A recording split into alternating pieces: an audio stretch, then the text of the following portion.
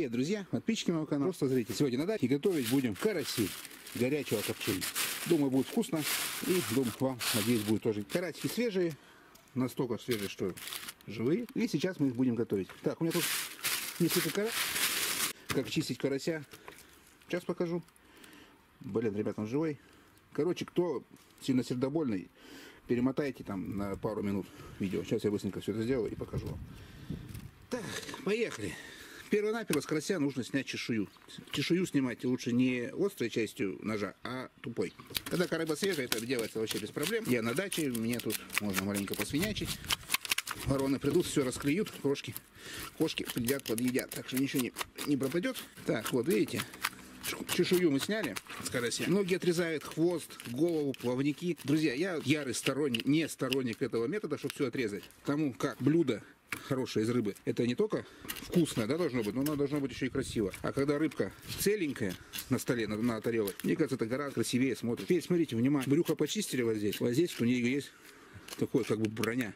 Почищаем этот плавничка, делаем небольшой надрез и просто рукой отрываем этот. Здесь чешую не чистишь. Теперь поднимаем жабры пальцами. Вот сюда. Поддеваем пальцем. Хлоп. Удалили птичку. Хлоп. Удалили. Дальше полоснули чешуи. Все, рыба почищена от чешуи. Здесь у меня в баночке небольшая заготовка. Это небольшая э, луковица. Без соли, без ничего, просто дома заготовил, чтобы сейчас не строгать. В эту баночку будем складывать икру, если она, конечно, будет. Давайте берем карасик от себя и вот так вот надрезаем. Вот здесь, вот здесь у него в груди жилочка, аккуратно. Приподнимаем внутренности, вот икра есть. Берем икру и пузырь обязательно вставляем. Это вкуснячая штука. Все, карась готов. Сейчас надо будет его помыть, естественно. Ну и еще, чтобы в нем не было костей, нужно обязательно его шинковать. Я это делаю от хвоста, мне просто так удобнее. Берем нож и делаем меленькие такие надрезы до позвоночника. Вы почувствуете, как нож у вас прорезает эти маленькие тоненькие косточки. Видите?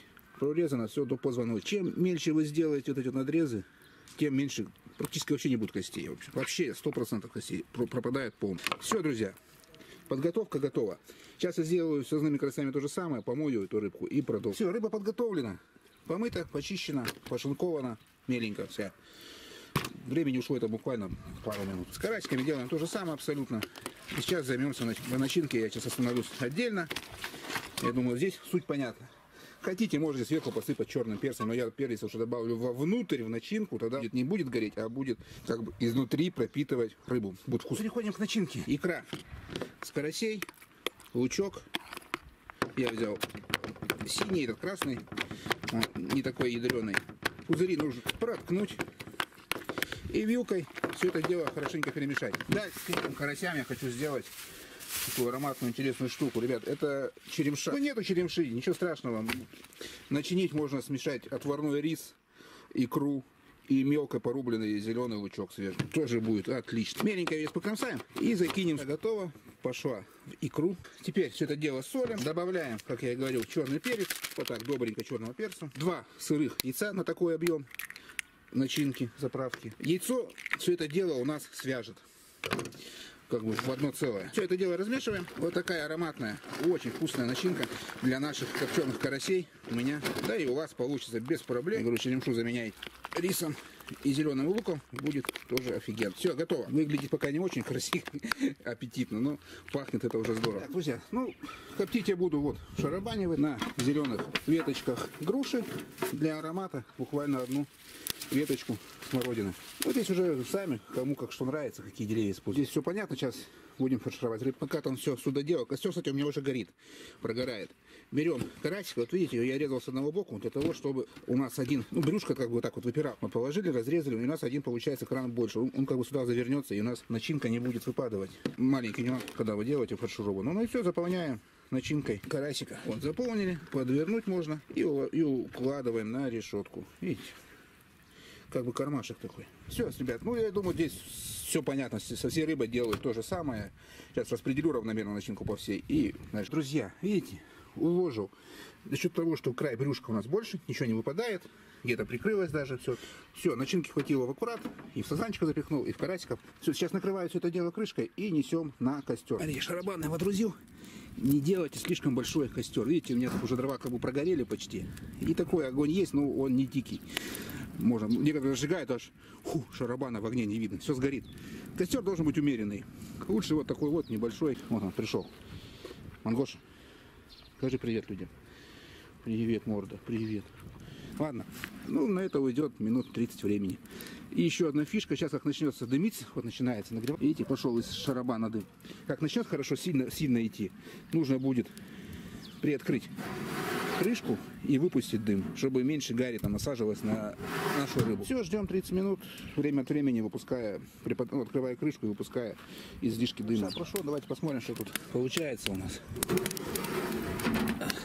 Получается вот что. Ну еще нужно маленько подержать, минут, наверное, 10. Ну ничего, подождем.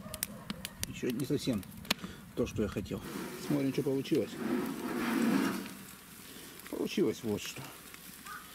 Меня, в принципе, все устраивает. Консистенция. Но здесь, видите, можете подержать еще подольше, но она у вас будет суховата. Так вот, смотрите, там в прорезях будет видно, нет на камере, сок. Видите, рыбка сочная и мягкая. Если подержать дольше, она вот просто пересохнет. Я бы не рекомендовал долго держать в шарабане. Вот так вот будет супер. Тарелку выложу, покажу, что получилось. Смотрите, начинка. Просто шикарная. Ну что, друзья, вот и результат. Смотрим. Карась без костей. Это очень реально или нет? Конечно, реально. Это очень просто и очень вкусно.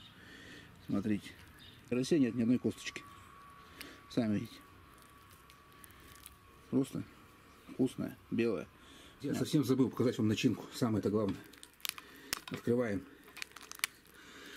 Ой, горячо. Получается. Вот здесь вот такая вот офигенная. Оба. Это очень вкусная штука. Попробуйте обязательно. Ладно, друзья. Все, заканчиваю это видео. Всем, кому было интересно и полезно, ставьте пальцы вверх. Подписывайтесь на канал, пишите комментарии, нажимайте колокольчик, ничего не пропустите. Что-нибудь еще вкусненькое поймаем, приготовим обязательно. Все, друзья. Всем до встречи и всем пока.